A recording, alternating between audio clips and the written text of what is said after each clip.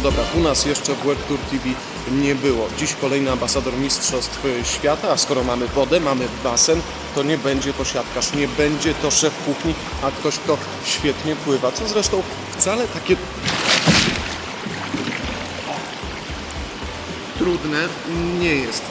Jak się niektórym e, wydaje, ale nie każdy czuje się w wodzie jak ryba, a w zasadzie jak motyl, który tymi swoimi skrzydełkami odgarnia hektolitry wody, pokonując kolejne metry. A nasz gość właśnie do takich się zalicza.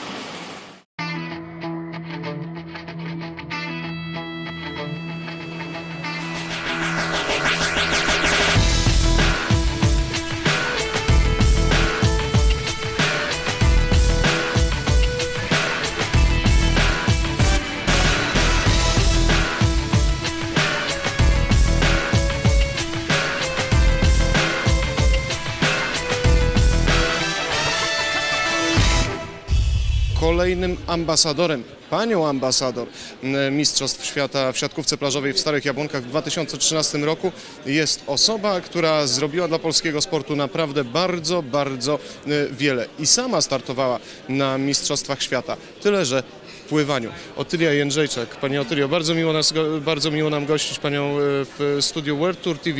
No i od razu zapytam, skąd pas, fascynacja siatkówką plażową? Można powiedzieć, że powoli zaczyna się Pani chyba fascynować, chociaż jeszcze na e, turnieju w Starych Jabłonkach Pani nie widzieliśmy. Tak, z turn- turnieju nie widziałam, obserwowałam Igrzyska Olimpijskie i e, zmagania chłopaków podczas Igrzysk Olimpijskich. Zresztą mieli niesamowite usytuowanie swoich e, aren sportowych. I jednocześnie też e, mieliśmy kiedyś okazję się spotkać w Rzymie, jak mieliśmy swój Puchar Świata. Oni mieli inne zawody za, nasz, za, za e, budynkiem e, naszego basenu. Więc gdzieś tam blisko, no bo woda, piasek, wszystko gdzieś tam sprowadza się do, do jednego, do przyjemności, a sport jest w jakimś sensie przyjemnością.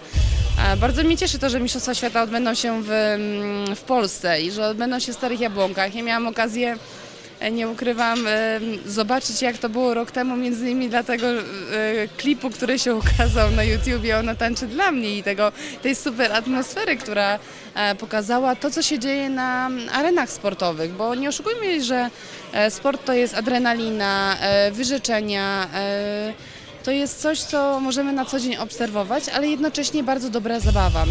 Nie ukrywajmy, Panie na siatkówkę plażową ciągnie, no właśnie, ten, e, ta praca zespołowa, ale i wygląd tej pracy e, zespołowej też po części gdzieś tam kusi, żeby pojechać, zobaczyć tych umieśnionych, opalonych atletów, którzy umorusani w tym piasku e, walczą w temperaturze czasami przekraczającej 30 stopni. Wie pan, na pewno to kobiety ciągnie, nie ukrywam. Ja na co dzień mam rozebranych mężczyzn, więc ja ten widok, do tego widoku jestem przyzwyczajona i jest to na pewno widok, który gdzieś tam e, jest przyjemny dla oka, ale zarówno dla mężczyzn ten, e, ten przyjazd nami na Mistrzostwa Świata będzie bardzo fajny, no bo i czy liderki, i dziewczyny, które będą występowały. Pani e, jest wzrostu siatkarskiego, tak to możemy określić, bo widać jednak panią z daleka, gdzieś w tłumie, nawet panów.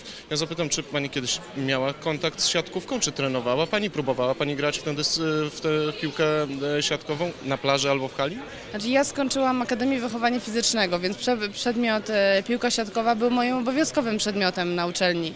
I rzeczywiście taki przedmiot miałam i ukończyłam, natomiast nie, e, ja jestem zdecydowaną indywidualistką. W treningu czasami graliśmy w siatkówkę i gdzieś tam e, wygłupialiśmy się, bo to trudno nazwać graniem, mm, szczególnie w wykonaniu dziewczyn. A- ale wydaje mi się, że e, ten sport drużynowy też nam towarzyszy. No, tworzymy sztafety i chociaż zdecydowanie jest to sport indywidualny. Mogą Państwo przyjechać, mogą Państwo przefrunąć, mogą Państwo przypłynąć nawet stylem motylkowym. Zapraszam serdecznie na Mistrzostwa Świata w piłce siatkowej do Starych Jabłonek 1-7 lipca 2013 roku. Nie może Państwa tam zabraknąć. Jakby ktoś nie pamiętał, www.webtour.pl, tam najbardziej płynne informacje o Mistrzostwach Świata w siatkówce plażowej, w zasadzie w każdym miejscu dostępne. Nie zapomnijcie też o odwiedzeniu naszego fanpage'u na Facebooku, tam również mnóstwo ciekawych i przydatnych newsów. Do zobaczenia w kolejnym odcinku Webtour TV.